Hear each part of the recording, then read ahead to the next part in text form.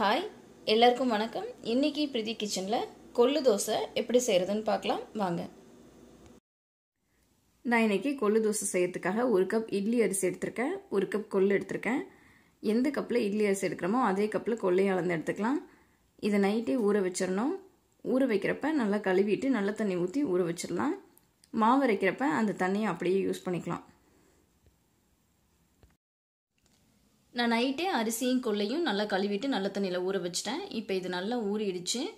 இப்போ மாவை அரைச்சிடலாம். இது கூட இஞ்சியும் சேர்த்து அரைச்சிடலாம். இதை நல்லா பொடியை கட் பண்ணிவிட்டு இதோட சேர்த்து அரைச்சிடலாம். மாவு அரைச்சாச்சு. மாவு ரொம்ப நைஸாக அரைச்சிடக்கூடாது. கொஞ்சம் கொரகொரப்பாக அரைச்சி எடுத்துக்கணும். ரொம்ப திக்காகவும் இருக்கக்கூடாது. ரொம்ப தண்ணியாகவும் இருக்கக்கூடாது. இது மாதிரி இருக்க மாதிரி அரைச்சி எடுத்துக்கோங்க. இப்போ இதில் உப்பு சேர்த்துடலாம். உப்பு தேவையான அளவு சேர்த்துக்கலாம்.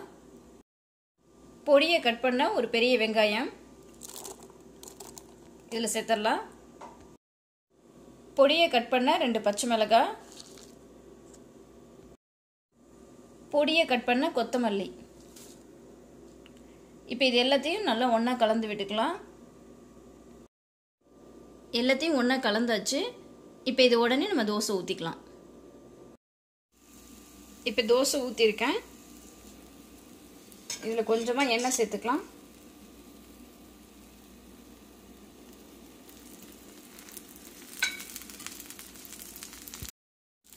இப்போ இது திருப்பி போட்டுடலாம்